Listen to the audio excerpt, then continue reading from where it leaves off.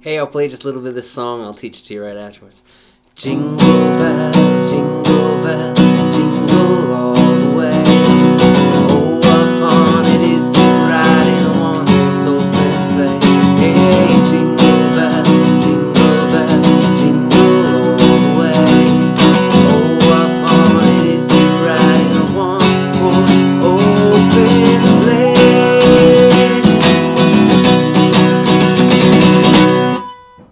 Okay.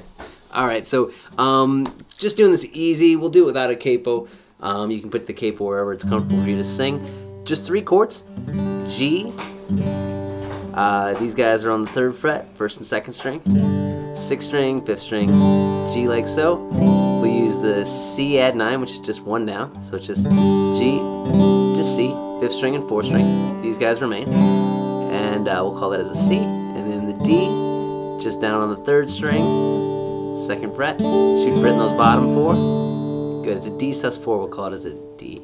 Uh, for strumming, we'll just keep real nice and easy for right now. I was using kind of like a down, down, down, down, down, down. Uh, for this right now, though, we'll just kind of like just do some downstrokes to make it real nice and easy. All right. So starting off on G.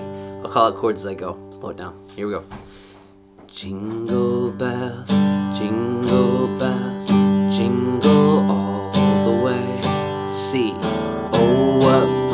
G is to ride D, one horse open sleigh. Hey G, jingle bells, jingle bells, jingle all the way. C, oh what fun, G is to ride D, one horse open G sleigh. And then you got easy jingle bells. Cool. Hope it helped. Thanks for watching. Happy holidays. Merry Christmas. All right. See ya.